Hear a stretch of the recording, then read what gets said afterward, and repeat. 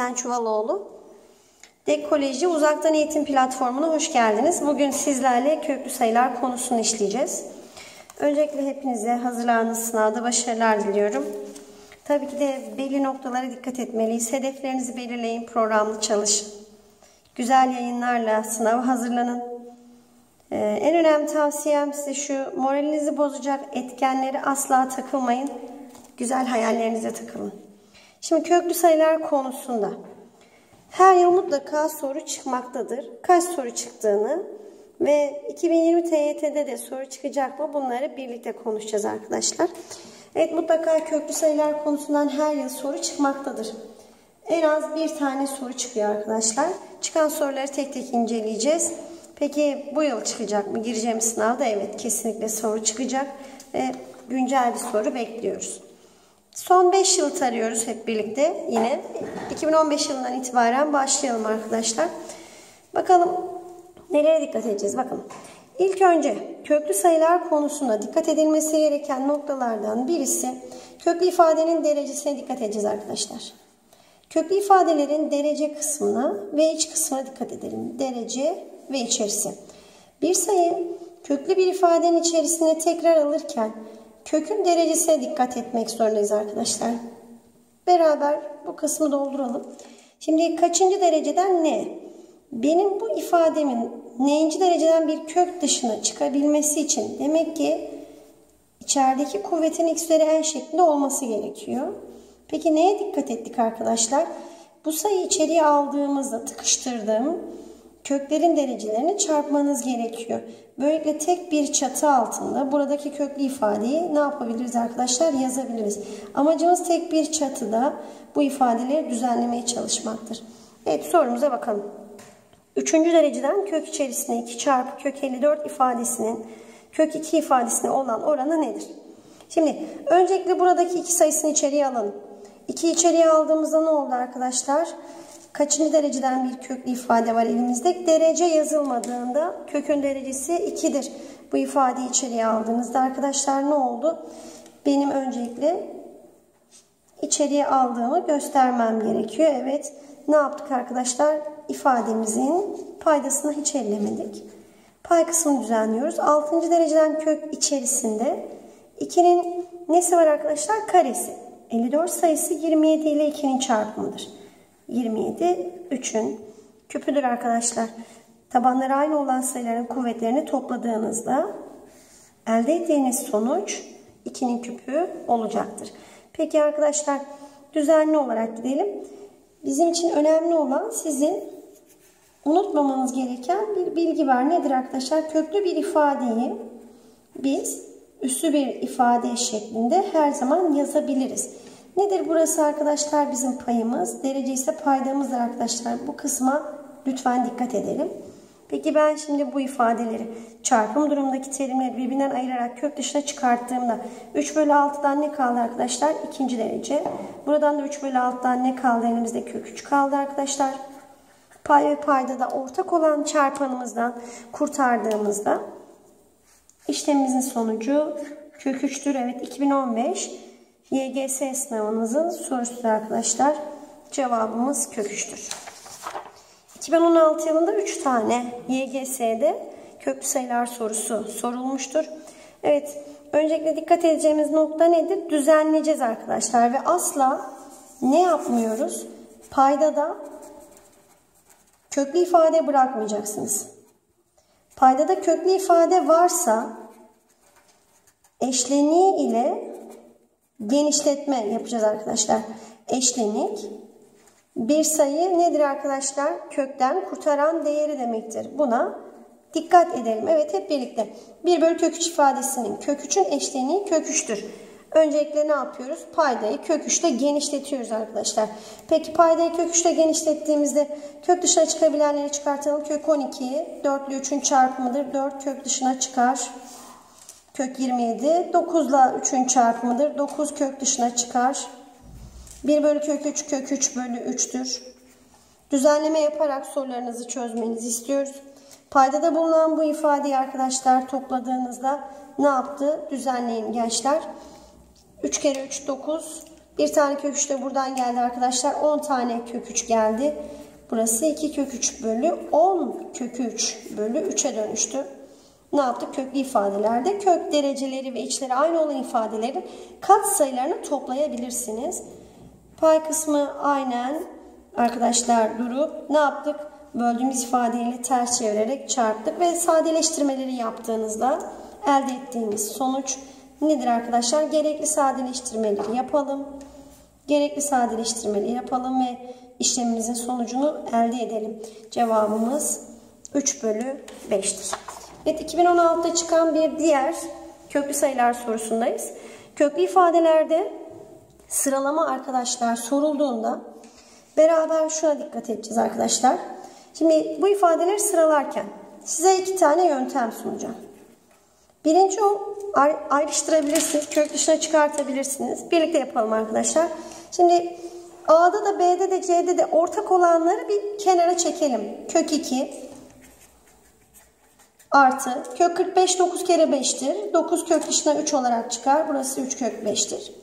B sayısına bakalım arkadaşlar. B kök 5 artı 9 kere nedir arkadaşlar? 2'dir. 9 kök dışına 3 olarak çıkar. Ve C sayısına bakalım arkadaşlar. C ise kök 8. 4 kere 2'dir. 2 kök 2 artı 4 kere 5'tir. 2 kök 5'tir. Her birinde neyi yakalıyoruz? Ortak olan kök 2 ve kök 5 terimlerini hemen kenara çekiyoruz.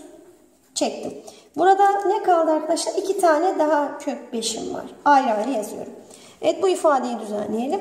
Burada arkadaşlar kök 2 ile kök 5 aldığımızda gördüğünüz gibi 3 tane kök 2 vardı. 2 tane daha kök 2'miz nedir? Elimizde vardır arkadaşlar. Bu ifadede ortak olan kök 2 ve kök 5'i aldığınızda bir tane kök 2 bir tane de kök 5 kalıyor. Evet ortak olanları şöyle görmezden geliyorsunuz. Kalanlar arasında sıralama yapıyoruz. Biliyoruz ki arkadaşlar her zaman köklü ifadelerde sıralama yapılırken kök dereceleri aynı ise kök dereceleri aynı ise kök içiyle doğru orantılı olarak sıralanır. Yani kök içi büyük olan her zaman en büyüktür. Buna dikkat ediyoruz. Peki kök içerisi büyük olan madem en büyük arkadaşlar birlikte bu ifadenin sıralaması yapalım. A sayısına bir kök 5 ile kök 5'in toplamı, B'de kök 2 ile kök 2'nin toplamı, C'de ise kök 2 artı kök 5 var. Arkadaşlar sıralamamızı yaptığımızda kesinlikle neyi görüyoruz? A sayısının en büyük olduğunu görüyoruz. Peki A ile arkadaşlar C'yi kıyasladığımızda C daha büyük. C ile B'yi kıyasladığımızda bakın kök 2'ler aynı. Kök 5 kök 2'den daha büyük olduğu için kesinlikle nedir arkadaşlar? C'de B'den daha büyüktür. Bu şekilde ne yapmış oluyoruz arkadaşlar? Biz ortak olanları kapatıp diğerler arasında sıralama yapabiliyoruz. Peki ikinci yoldan bahsedelim. Kullanabileceğiniz bir diğer yöntemse arkadaşlar karelerini her iki tarafında alıyoruz. Peki alalım ve yine kıyaslayalım. A'nın karesini aldığımızda birincinin karesi. Öncelikle kare açılımı tekrar edelim arkadaşlar. Nedir kare açılımında yapmamız gereken işlem?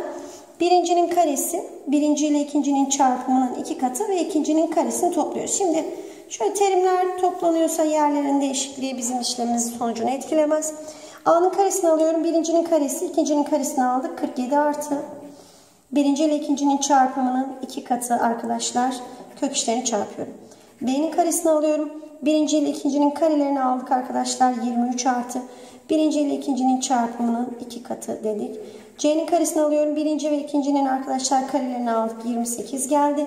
Birinci ile ikincinin çarpımının iki katı dedik. Evet düzenlemeye devam edelim. 90 nedir arkadaşlar? 9 ile 10'un çarpımıdır. 9 kök dışına çıktığında burası 6 kök 10'dur. Aynı şekilde arkadaşlar direkt sırıtan yeri beraber görelim.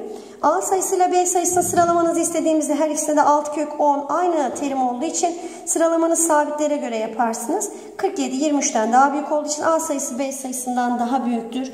16 çarpı 10'dur bu ifademiz. 16 kök dışından 8 diye 4 diye çıktı. Burası arkadaşlar.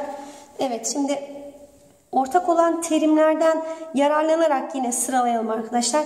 Hep birlikte sıralamamızı görelim. Şimdi A sayısıyla C sayısını sıralayalım. Bakın sabit daha büyük. Bu ifadeye bakıyoruz arkadaşlar. Bu ifadeyi ben 28 artı 6 kök 10 artı 2 kök 10 diye ayırdığımda 6 kök 10 her ikisinde de var. 2 kök 10 arkadaşlar 2 içeriye aldığınızda kök 40'a tekabül eder. 40 yaklaşık olarak arkadaşlar kiminle kimin arasındadır? Kök 36 ile kök 49'un arasındadır. Yani 6 ile 7 arasında bir sayıdır. Peki 6 ile 7 arasında bir sayı olduğu için arkadaşlar sabit sayı en fazla etkileyeceği 6.9 kadar bile olsa 47'den küçüktür. Gördüğümüz gibi karelerini alarak baktığımızda A'nın C'den daha büyük. C'nin ise arkadaşlar B ile olan sıralamasına bakalım. Her ikisini kıyasladığımızda sabitleri de katsar da daha büyük olduğu için kesinlikle terim terim baktığınızda C'nin B'den daha büyük olduğunu ulaşırsınız ve nedir arkadaşlar doğru cevabımız B küçüktür C'den. C de küçüktür A'dan. Evet burada köklü bir sayı sıralarken dikkat edeceğimiz noktalar vardır. Tekrardan durdurup tekrar izleyebilirsiniz. Evet 2016'da çıkan bir diğer köklü sayılar sorusuyla beraberiz. Köklü ifadelerde denklem çözümleri karşımıza çok çıkar. Dikkat edeceğimiz nokta nedir arkadaşlar? Önce düzenliyoruz. Paydada köklü bir ifade varsa bunlara dikkat ediyoruz. Arkadaşlar birbirine üstünlük yapacak kısımlara bakıyoruz. Evet birlikte sorumuzu çözelim. Öncelikle 8 sayısı 4 kere 2'dir. Burası 2 kök 2'dir. Kök 2x, kök 2x gördüğünüz gibi arkadaşlar. Paydayı ne yapıyorum? 2 ile genişlettim. İfademizi arkadaşlar düzenlersek payda işleyerek 2 tane buradan geldi. 4 tane buradan geldi arkadaşlar ve ne yaptı burası? 6 bölü 2 çarpı kök içerisinde 2x oldu. Sol ve sağ tarafta ortak olan çarpanlardan sadeleştirerek kurtardınız. İçler dışlar çarpımımızı yaptık arkadaşlar. Düzenlememizi yapıyoruz beraber. Düzenleme yaptıktan sonra evet köklü bir ifadeden kurtulmak için arkadaşlar ne yapıyoruz? Her iki tarafında karesini alıyoruz. Yani kök derecesi kadar kuvvet alıyoruz. 1 bölü 4 eşittir. 2x denklemini çözümlediğimizde x'in 1 bölü 8 olduğuna ulaşıyoruz. Evet 2016'da çıkan sorulardan bir diğeri köklü denklemlerde neye dikkat ediyoruz? Kökten kurtulmak için kök derecesi kadar kuvvet alıyoruz. Evet arkadaşlar 2017'de çıkan soruyla devam edelim. Şimdi 2017 yılında arkadaşlar 2 tane YGS'de 3 tane de LYS'sinde soru çıktı arkadaşlar. Ee, burada dikkat edeceğimiz nokta şimdi YGS, TYT gibi arkadaşlar davranıyor. Yani neye dikkat ediyoruz burada gençler? Dikkat edeceğimiz tek nokta şudur. Karşımızdaki sorularda gelecek şekline dikkat edelim. Yani TYT ve AYT sınavlarında ortak bir konudur. Öncelikle ne yapmamız gerekiyor? Bakın burada bizim şu kısma dikkat etmemiz gerekiyor. Kök 8 ifadesi 2 kök 2. 2 kök 2'den kök 2'yi çıkart, kök 2'yi çıkartırsak arkadaşlar ne elde ederiz? Kök 2 elde ederiz. Evet yerine koyalım. Üçüncü dereceden kök içerisinde 32 bölü kök 2'nin sonucunu arıyorsunuz. Paydada köklü bir ifade varsa eşleniğiyle genişletiyoruz dedik. Bakın halen kök derecesiyle bir işimiz yok. Burası 32 kök 2 bölü ne oldu arkadaşlar? 2 mi oldu? Düzenlediğimizde ne elde ediyoruz? Bu 32 ile 2'yi sadeleştirdik. Üçüncü dereceden kök içerisinde 16 kök 2 elde ettik arkadaşlar. Şimdi ifadede yerine koyarak ve düzenleyerek gidersek asla sıkıntı yaşamayız. Biz bu 16'yı kökün içerisine alırsak arkadaşlar ne yaptı? Bakın 3 ile 2'yi çarptık 6 16 kökün 16 2'nin 4. kuvvetidir. İçeriye girdiğinde arkadaşlar ne yaptı? 2 üzeri 8 olarak içeriye geçti. Taban bakın buradaki dikkat edeceğimiz nokta kökün içine alırken kök derecesi kadar kuvveti genişletiyoruz. Evet işlemimize devam ettiğimizde 6. dereceden kök içerisinde 2 üzeri 9. Evet köklü ifadeleri üstü sayılar şeklinde ifade edebiliriz demiştik. Sadeleştirmemizi yaptığımızda arkadaşlar ne yaptı? Her ikisine de ortak olan çarpandan kurtaralım, düzenleyelim. Üçlerle kurtardık. Burası arkadaşlar 3'e böldük 2'nin küpü. Yani cevabımız kök içerisinde 8. Kök 8 ne işte arkadaşlar? 2 kök 2'ye. Evet 2017'de çıkan bir diğer soru sıralama sorusu. Sıralamalarda mutlaka arkadaşlar dikkat edelim. Sıralamadan e, soru bekliyoruz. Peki bakalım köklü ifadelerde sıralama yapılırken yapılması gereken nedir? Beraber bakalım. karelerini alarak sıralayabiliriz. Çok daha arkadaşlar işinize yarar sıralama yaparken. Evet kök 2 bölü 2, kök 5 bölü 3 ve kök 7 bölü 4'ü sıralamamızı istiyor. Birlikte sıralayalım. Şimdi karesini aldığımızda ne geldi arkadaşlar? 2 bölü 4. Karesini alalım arkadaşlar. B'nin karesini aldığınızda elde ettiğimiz sonuca beraber bakalım. Ne geldi? Karesini aldık. 5 bölü 9'dur. Evet C'nin karesini alıyorum arkadaşlar. Ne geldi? 7 bölü 16 geldi. Evet sıralama yaparken arkadaşlar dikkat edeceğimiz nokta ne? Şimdi 1'i 2'ye böldüğümüzde nedir? 0.5. 5 bölü 9 bir rasyonel sayıdır. Basit kesirdir arkadaşlar. 5'i 9'a böldüğümüzde ne yaptı? İçerisinde kaç kere olduğuna bakıyoruz arkadaşlar. Ne yaptı? Şöyle baktığımızda 9 kere 5 45 devam edecek arkadaşlar burada. Tekrardan ne yapıyor? 5.5 şeklinde ilerliyoruz. Peki 7'yi 16'ya bölelim. Basit kesirlerde sıralama yapıyoruz. Ne yaptı arkadaşlar? Beraber baktığımızda 16 kaç kere var 70'in içerisinde arkadaşlar? Beraber bakalım. Ne yaptı? 4 kere. Peki şimdi ondalıklı sayılarda sıralama yapıyor gibi davranalım arkadaşlar. Tam kısımları aynı olan sayılarda sıralama yapılırken virgülden sonraki sayılara göre sıralama yapıyoruz.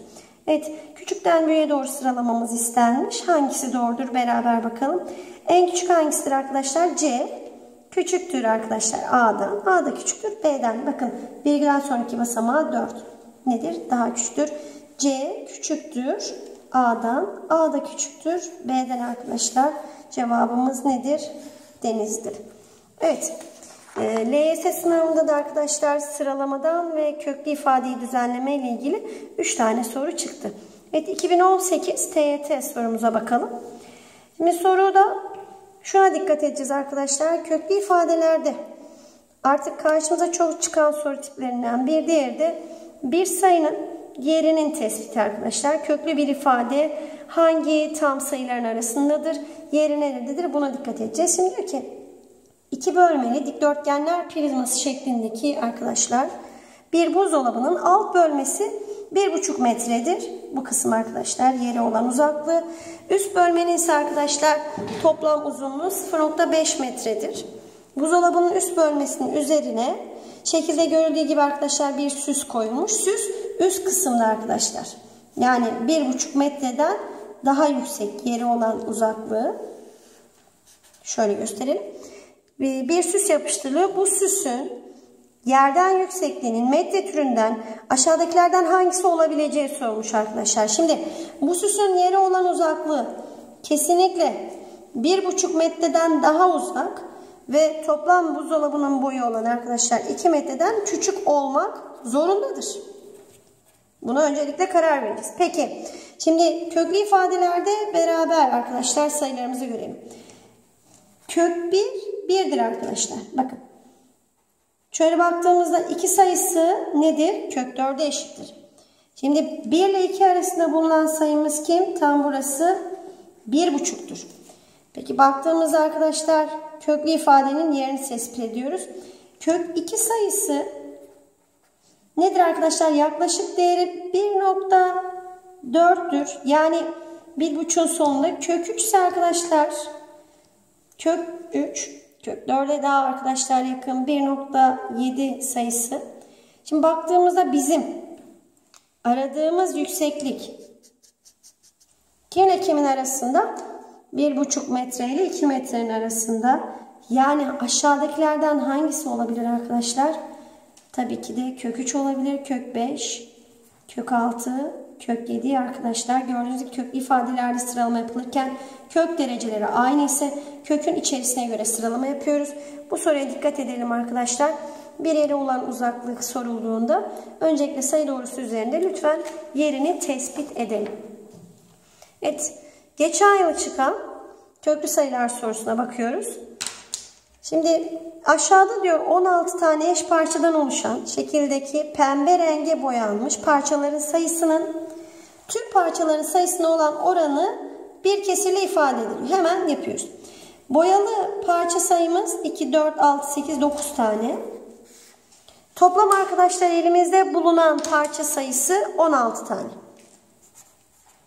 Doğal olarak elimizde bulunan bu boyalı bölgeyi kesirle ifade ettiğimizde ne elde ediyoruz arkadaşlar? 9 bölü 16. Evet ifade ediliyor dedi ettiniz. Bu kesrin kare köküne eşit olan kesrin. Şimdi ikinci aşamaya geçelim. Bu kesrin kare kökünü alalım. 9 kök dışına ne olarak çıkacak arkadaşlar? 3 olarak. 16 kök dışına ne olarak çıkacak? 3 bölü 4. Şimdi adım adım gidiyoruz. Okuyorsunuz ve işlem yapıyorsunuz. Bu kesrin kare köküne eşit olan kesri yani 3 bölü 4'ü ifade etmek için boyalı olmayan parçalardan gençler durduk. Şimdi 3 bölü 4 kesrinin toplam kare sayımız 16 olduğu için paydasını 16 yapmak için 4 ile genişlettim. Payını da 4 ile genişlettim. Biz burada bu 3 bölü 4 kesrini ifade etmek için yani 12 bölü 16 kesrini ifade etmek için burada boyanmamış olan parçalardan kaç tane daha boyamalıyız? Şimdi bizim kesrimizin Arkadaşlar değeri 12 bölü 16 olacak. Boyanmış olması gereken. Peki beraber buna karar verelim arkadaşlar. Benim toplam 9 tane parçam boyalıydı. 12 tanesinin boyalı olmuş olması gerekiyor ki ben bu değeri elde edebileyim. O zaman elimde kaç tane daha arkadaşlar kare boyamam gerekiyor? 3 tane daha eğer biz kare boyarsak boyayalım. Böylelikle çıkan sonuç kesinlikle ne olacak arkadaşlar? Bizim elimizdeki 3 bölü 4 kesrine denk olacak. Evet, rasyonel sayılarda genişletme ve köklü ifadelerde arkadaşlar dikkat edeceğimiz nokta bu. Evet, bu bizim karşımıza çıkmış olan arkadaşlar köklü sayı sorusu olarak TET sorusuydu. Evet, 2020'deki sınavda inşallah bunlara benzer soru çıkar. Evet, biraz bu köklü sayının sayı doğrusu üzerindeki yerini tespit etmelerden bahsedelim arkadaşlar. Köklü bir sayı yerini tespit edeceğiz. Şimdi bir. Köklü bir sayı var. Üçüncü dereceden kök 10 ve kök 80 sayıları ise kaç farklı tam sayı vardır denilmiş. Öncelikle düzenleyelim arkadaşlar. Şimdi 8 sayısı. Şöyle beraber bakalım arkadaşlar. 8 sayısı ne olarak dışarıya çıkar? 3 olarak. Peki Üçüncü dereceden 27 sayısı hangi tam sayı eşittir? 3'e eşittir. Bizim elimizde bulunan sayı 3. dereceden kök 10 sayısı arkadaşlar. Ve şimdi 3. dereceden kök 10 dediğimiz sayı öncelikle 2 ile 3 arasında bir sayı mı? Bunun yerini bir tespit edelim. Evet 2 ile 3 arasında bir sayı. Yani bu sayı 2 küsür bir sayı mı? Dikkat ediyoruz. Evet bu sayının değeri 2 küsür bir sayı. Şimdi kök 80 sayısına bakalım. Kök 80 sayısı arkadaşlar 81'in karekökü nedir? 9'a eşittir. Kök 80 nerededir? Gördüğünüz gibi kök 80 sayısı da 9'dan küçük bir sayıdır. Şimdi bizden istenilene bakalım. Bilgiler arası bağlantı kuralım. 2'den büyük, 9'dan küçük olan kaç farklı tam sayı olduğu soruluyor. 2'den büyük olduğunu anlıyoruz. Nedir arkadaşlar? 3, 4, 5, 6, 7 ve 8'dir. Bu aralıktaki sayılar. Ve bizden bunun kaç adet olduğu sorulmuştu arkadaşlar. Dikkat edelim tekrar. Alt sınırımız kim? 3. dereceden kök 10 sayısı ile kök 80 sayısının arasında kaç tane farklı tam sayı olduğunu arıyorsunuz. Öncelikle 3. dereceden kök 10 sayısının yaklaşık olan değerini ve kök 80 sayısının yaklaşık olan değerini gösteriyoruz. Daha sonra arkadaşlar bu sayıyı ne yapıyoruz? Yerini buluyoruz. Bakın köklü ifadelerin hangi tam sayılar arasında olduğu soruları mutlaka karşımıza çıkıyor. Bu kısımlara dikkat edelim arkadaşlar. Ve bir diğer sorumuza geçelim. Köklü ifadelerde bir arkadaşlar denklem sorusu karşımızda. Şimdi bakıyoruz. Ne var elimizdeki soruda? x kare eksi 6x artı 9 ifadesinin x eksi 3 olarak çıktı. Şimdi beraber bakalım. Öncelikle bir hatırlatma yapalım. Çift dereceli köklü ifadelerde kök dışına ifade çıkarken derecesiyle kuvvet aynı olsa dahi ne yapacağız? Kesinlikle mutlak değerle çıkartmak zorundayız. x kare eksi 6x artı 9 ifadesi 6'nın yarısı 3 nedir? x eksi 3'ün tam karesidir.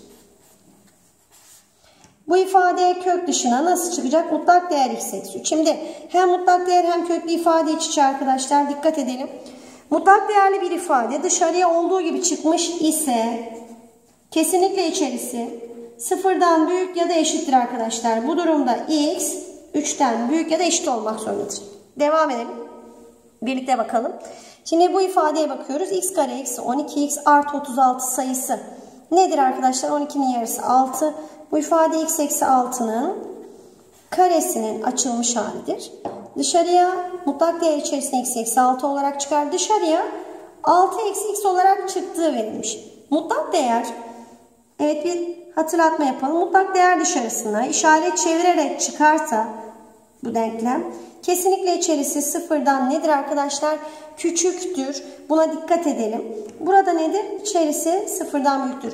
Eğer sıfırdan büyük ya da işte aynen küçükse arkadaşlar ters çevrilerek çıkar. Bu durumda x eksi 6 küçük ya da eşit sıfır denklemini çözdüğümüzde x'in 6'dan küçük ya da eşit olabileceğini elde ediyoruz. Bizden istenilen bu denklemi sağlayan, her ikisine sağlayan kaç tane x tam sayı değerinin olduğunu ortak çözüm yapıyoruz arkadaşlar. Dikkat edelim. Evet x sayısını ortaya koydunuz. 3 ile 6 arasında olduğuna ulaştınız. 3 ile 6 arasında bulunan kaç tane farklı tam sayı değeri vardır? Terim sayısından da gidebilirsiniz. Direkt sayabilirsiniz arkadaşlar. Gördüğünüz gibi 6 eksi 3 ne yaptı? Burada 3 artı 1. 4 tane elimizde farklı tam sayı değeri bulunmaktadır. Evet buna dikkat edelim ve bir başka soru çeşidiyle güzel soruyla devam edelim. Evet işleminin sonucu aşağıdakilerden hangisinin aralığındadır? Arkadaşlar sürekli söylüyoruz. Dikkat edeceğimiz nokta nedir? 1. Paydada köklü ifade bırakmıyoruz. Paydada köklü ifade bırakılmaz. Peki ne yapacağız? Hemen eşleniği ile genişletme yapacağız. Peki eşlenik nedir arkadaşlar? Kökten kurtaran değildir. Kök 4 eksi 1'in eşleniğini beraber yapalım. Kök 4 eksi 1'in eşleniği arkadaşlar. Evet. Kök 4 eksi 1'dir. Kök 7 artı 4'ün kök 7 eksi kök 4'tür. Peki arkadaşlar ne yapıyoruz? Bakın içler arasındaki farka 3 3 gidiyor. Burada arkadaşlar dikkat edeceğimiz nokta ne?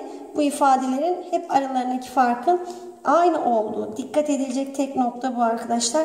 Bu şekilde ne yapacağız? Devam edeceğiz gençler. Peki burada ne var? Kök 7 artı kök 10 şeklinde ilerleyecek. Evet şimdi eşleniklerle genişletelim. Bu ifadenin eşleniği nedir? Kök 1000 eksi kök 997'dir. Peki eşleniği genişlettiğimizde yerine koyuyoruz. Eşlenik çarpımı iki kare farkından arkadaşlar esinlenir. Nedir? A kare eksi B kare. A eksi B ile A artı B'nin çarpımıdır. Özellikle çift dereceli köklü ifadelerde arkadaşlar ne yapıyoruz? Artılısıyla eksilisini genişleterek bu ifadenin kökünden kurtarıyoruz. Peki eş çarpımı birincinin karesinden ikincinin karesini çıkarttık. 4'ten 1 çıktı 3'tür. Devam edelim. Buradan ne geldi? Kök 7 eksi kök 4 bölü 3. Peki bu şekilde devam ettiğimizde arkadaşlar en son terimde ne geliyor? Elde edelim. Kök 1000 eksi kök 997 bölü 3 geldi. Evet. Her birinin paydası arkadaşlar artık nedir? Kökten kurtardık. Yani eşleniyle çarparak irrasyonel haldeki paydayı rasyonel hale getirdik. İrreel halde olunca da reel hale getirmek için eşleniyle çarpıyoruz. Yani karmaşık sayılarda. Peki arkadaşlar hepsinin paydaları aynı olduğu için ne yapıyoruz? Ortak paydada toplayalım. Kök 4 eksi 1. Dikkat edin buraya. Kök 7 eksi kök 4. Şimdi gençler ne dikkatinizi çekiyor? Evet yakaladınız. Burası arkadaşlar direkt kök 1000 eksi kök 997. Evet. Dikkatimizi çeken nedir arkadaşlar? Birinci terimin ilk değeriyle ikinci terimin arkadaşlar ne oluyor? Farkındaysanız diğer terimi birbirini sadeleştiriyor. Bu şekilde devam ettiğimizde arkadaşlar ne gelecek elimizde? Kalanlara bakalım. Burada eksi 1, burada kök 1000 var arkadaşlar. Burası kök içerisinde 1000, eksi 1 bölü 3'e dönüştü. Şimdi gelelim kök 1000'in arkadaşlar yaklaşık olarak değerini. Yine bu yaklaşık değerlere de dikkatinizi vermenizi istiyorum arkadaşlar. Şimdi kök 1000'in yaklaşık değeri arkadaşlar baktığınızda kök 1000 nedir? 30 şimdi 31'in karesini alın arkadaşlar. 30'un karesi nedir? 900'dür. 31'in karesini alın. Burada yaklaşık olan değeri bulmanız gerekiyor çünkü. Ne yaptı? 961. Bakın kök içerisinde 961 sayısı 31 tam sayısına eşittir. Şimdi ilerlediğimizde arkadaşlar bizim demek ki kök 1000 değerimiz 31'den büyük bir sayı mı? Evet 31'den büyük bir sayıdan 1 çıkarttığımızda 30 küsür bir sayı mı olacak arkadaşlar? O halde 30'u 3'e böldüğümüzde bu sayı 10'dan sonraki bir sayı mı olacak? Yani 10'dan 11 Evet bu kısma dikkat ediyorsunuz. Tekrar durdurup videoyu kendinize yapmaya çalışıyorsunuz. Kök 1000 kök 961'den sonra gelir. Yani kök 961 31'in karesidir arkadaşlar. Buna dikkat edelim. Evet bir diğer soruyla devam edelim. Evet şimdi kök 109'un yaklaşık değerini sen çöz. Şimdi durdur videoyu. Tekrardan sen çözmeye çalış. Şimdi dikkat edeceğimiz nokta bu. Değer bulmayı arkadaşlar iyi bilmek zorundayız. Ne yapıyoruz? Sayı doğrumuzu çizdik. Bakın. Kök 100 10'a eşittir. Kök 11'in karesi arkadaşlar 121'dir. Kök 121 de 11'dir. Alt sınırı bulmanız sizin için arkadaşlar yeterli olacak. Peki şimdi kök 109 nereye yakın? Bakın 100 ile 121 arasında toplam 21 tane burada arkadaşlar ne var? Değerimiz var. Çıkartıyorum bu aralıkta. Şimdi kök 109 kök 100'e daha yakın bir sayı değil mi arkadaşlar? Bunların tam ikisinin ortası olsaydı burası 10,5 mu?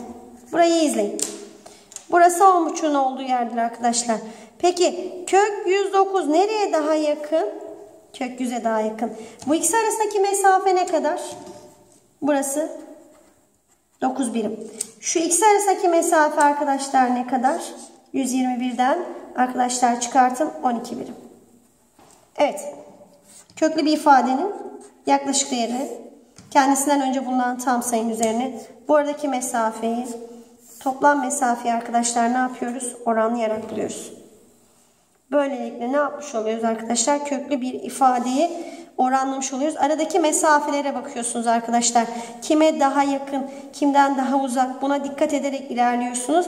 Böylelikle yaklaşık değerini bulmuş oluyoruz arkadaşlar. Bunlara dikkat edelim. Bir örnek daha yapalım burada. İyice otursun, pekişsin. Beraber bakalım ve sonrasında arkadaşlar toparlayalım. Şimdi herhangi bir sayının yaklaşık değeri bulunurken yapılması gereken işlem şudur arkadaşlar. Aradaki mesafeye bakıyoruz. Hep birlikte kök 40 sayısının yaklaşık değerini hesaplayalım. Evet.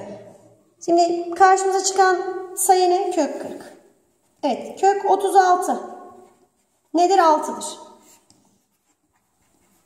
Kim var sonra? 49 yani 7 sayısı var. Peki arkadaşlar 40 kime daha yakın? Şöyle kapatıyorum. Aradaki çizgiyi çekelim arkadaşlar. Kök 40 sayısı kime daha yakın arkadaşlar? Evet. Kime yakın? Tabii ki de kök 36'ya daha yakın. Bu ikisinin arasındaki mesafe kaç birim? 4 birim. Bu ikisi arasındaki mesafe kaç birim? 9 birim arkadaşlar. Burada e, mutlaka dikkat edelim gençler ne yapıldığını. Peki kök 40'ın yaklaşık olan değerini hesaplıyoruz. 6 tam. Bakın. Kök 6'nın kök 40 olan uzaklığı bölü toplam ikisi arasındaki uzaklık. Böylelikle ne yapmış oluyoruz? Sayının yaklaşık olan değerini hesaplamış oluyoruz. Et kime daha yakın, kime daha uzak kısmına da bakabilirsiniz arkadaşlar. Şu şekilde tekrar edelim. 6 ile 7 arasındaki sayımız nedir arkadaşlar? 6,5'tür. Şurası tam orta noktamız olsun. Peki arkadaşlar farkındaysanız kök 40 6,5'tan daha küçük bir sayı mı? Evet daha küçük bir sayı arkadaşlar. Dikkat edelim. Aradaki mesafeye bakacağız. Hangisine daha yakınsa arkadaşlar o tarafa doğru çizeceğiz. Ve sayısal değerini bu şekilde bulacağız.